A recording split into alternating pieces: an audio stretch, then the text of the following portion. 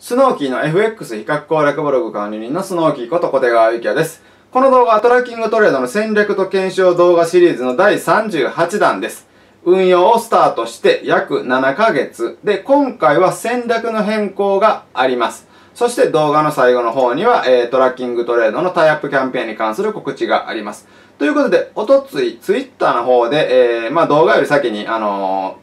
ー、投稿というか公開していたんですけども、えー、5ドル円とニュージーランドル円の、これちょっと円が抜けてますけども、のロングをショートに変えましたよということをツイートしていました。はい。で、現在稼働中の戦略は4つです。まず、えー、まあ、しばらくも続けている、えー、米ドル円の買いですね。ポジション間隔は、えー、まあ、約20銭。そして想定変動幅は1050ということでね。はい。で、えー、先週ですね、えー、まあちょっとね、上に抜けるかっていう期待もあったんですけども、まあ前回高値で、えー、失速と。で、まあこの112円台っていうのは結構固めているところなんで、まあここ、えー、踏ん張ってくれるといいんですけども、えー、来週の戦略の動画の方でもお話しますけども、ちょっと今ね、米ドル売りが進んでいるので、えー、そのあたりの影響を受けて、もしかすると、まあ、一段安になる可能性もあるので、ちょっと心配しています。はい。えー、続きまして、えー、こちらですね、あの、戦略変更した5ドル円です。買いから売りに変えて、もう一つ変えたところは、この想定変動幅です。前回までは、買いの時は700だったんですけども、950とかなり広くしました。これは、あの、証拠金が、ね、これ50万円スタートでやって今80数万円までいっているので、えー、大きく幅を広げることができるんですよ。なので、まあ、あの、リスクコントロールのためにここ広くしました。まあ、あとポジション間隔は、えー、ちょっと狭くしたぐらいであまり変わらないですかね。で、えー、私が、えー、打った後も5ドル円はまだスルスルと上昇してですね、えー、まあ、もうこのチャ、ここで見る限りの前回高値はまあ抜けてるんですけども、問題は、えー、ここですね、えー、88 88.345かな。ここら辺り明確に抜けるかどうかっていうところに、え、なってきています。ただまあ、あの想定変動幅は広くしているので、まあ、心配するような段階ではないです。はい。えー、続きまして、えー、こちらもね、ニュージーランドドル円、こちらも買いから売りに変更しました。そして、ここも想定変動幅、700から950、9円50銭にしています。はい。えー、まあ、なので、ま気持ち的にはかなり余裕があるっていうことですね。で、えー、どう動いたかというと、ちょっと、えー、まあ、もみ合い、高値圏もみ合いのような形になってきているので、まあ、このあたりでもみ合ってくれる分には、えー、利益が積み上がっていくので、まあ、なかなか、えー、いいかなと。で、週足で見ると、今、こんな感じですね。はい、えー、先週のトラッキングトレードの方の動画でも話しましたかね。まあ、2年ぶりの高値行くかどうかのところに挑戦だっていうところで、えー、とりあえず先週に関しては、まあ、あの、いけなかったっていうところですね。はい。ただ、抜けてくると、結構、えー、上値の余地っていうのはあるので怖いんですけども、想定変動幅を9円50銭と広めにしているので、まあしばらくは大丈夫かなっていうふうには見ています。まあなぜピッチがちょっとあまりにも早く上がってきたので、はい、えー、このピッチでずっと上がり続けることができるのかっていうことですよね。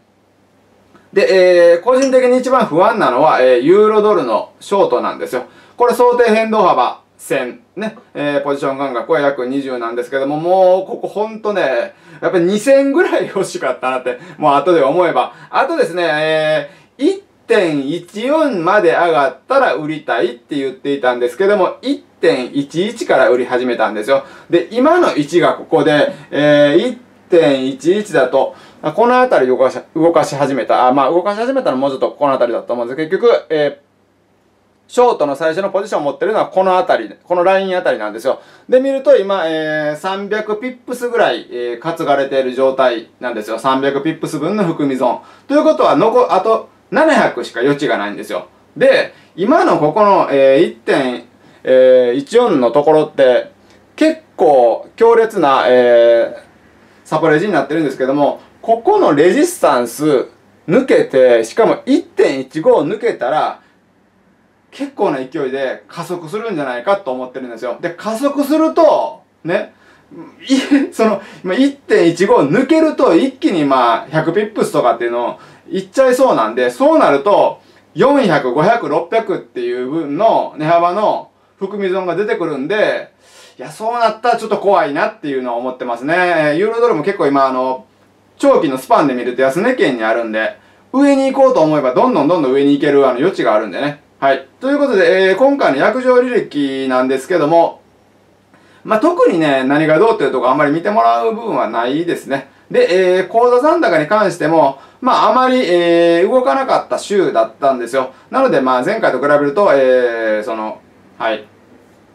プラスになっている部分が、えー、少ないかなと。1万円も超えていない。そして含み損がね、えー、増えているっていうところですよね。まあ、ユーロドルが上昇、上昇ってことでもないか。はい。と、あと、米ドル円が下がったっていうところですね。で、えー、5万円ほどありますよと。まあ、ただ、あのー、口座維持率とか、実行レバレッジはまだ健全な状態なので、えー、今のところはまあ大丈夫ですけども、問題はやっぱりユーロドル次第かなっていうところです。この後は告知です。トラッキングトレードが利用できます、えー、FX ブロードネットさんとスノーキーのブログ限定タイアップキャンペーンというのを開催しております。タイアップ専用バナーからの新規口座開設と3万円以上の入金、えー、つまり FX 取引はしなくってもですね、する前に、えー、ブロードライトコース、1000通貨コースの方なら、図書カード1000円分、えー、ブロードコース、1万通貨コースの方なら、図書カード3000円分がもらえます。どちらか先に、えー、どちらかのコースで口座開設して、追加で申し込むっていうことはできるんですけども、特典っていうのはど一度一度きりなので、まあ、どうするかですよね。1000通貨で早く始めたい方は上。はい。えー、3000円分の図書カード欲しいんだっていう方は下っていうことになってきますね。はい。で、この動画の解説欄に、えー、その、詳細がわかる URL を貼っておきます。そちらからオンラインでの講座解説の申し込みが可能となっております。ということで今回はトラッキングトレードに関する動画でしたけども、えー、これ以外にもいろいろな情報を配信していきたいと思います。そしてブログの方では、えー、動画、プラスアルファ、あるいはブログだけのコンテンツなんかも公開していますので、よければスマートフォン、タブレット、えー、パソコンのお気に入りブックマークに、えー、追加をお願いいたします。最後までご覧いただきありがとうございました。